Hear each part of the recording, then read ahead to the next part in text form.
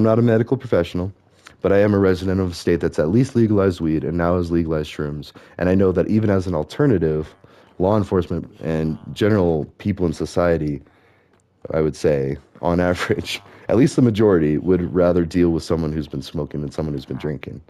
Like, especially on the road. I know if I'm driving around, I got my kids in the car. I would rather get bumped by someone who's going too slow or didn't realize they were like, you know, like slowly drifting over the lane rather than someone who's drunk or on like even hard drugs and like flying hundreds of miles an hour. Not saying it can't happen with someone who's been smoking cannabis, but it's a heck of a lot less likely. I mean, just being honest, like it's all bad. Like it's all illegal too. I mean, mind you, I'm not saying any of that. And that's what that binary bias goes back into is like, oh, well, if you're saying this, you automatically support or say this. And like, no, I'm just saying this part and I'll get to that part maybe later, maybe not.